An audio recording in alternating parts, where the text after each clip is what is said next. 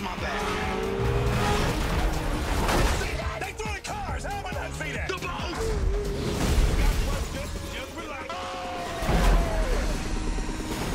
Oh.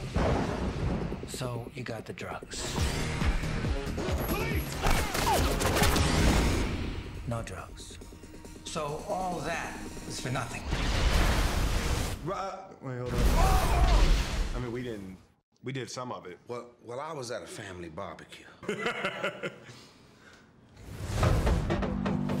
Since 9-11, we've gone high-tech over the water, so the dope runners have gone low. The biggest shipment on record is coming in tonight, and we want to know who's behind it. What could go wrong with that? With you alive. I can't be in a gunfight every day. We just want to talk. You want to talk?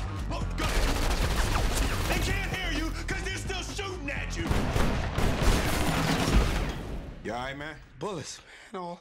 excuse You didn't tell Marcus about us. No. Mike, he's my brother, okay? Don't be scared. Whoa, hey, I ain't say I was scared. Just something wrong with your brother.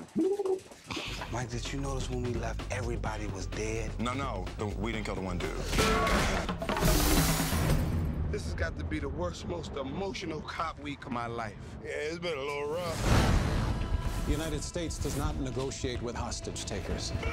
This is not just a situation. It's my sister. I don't want to know what you guys are cooking up. We ride together. We die together. Bad boys for life.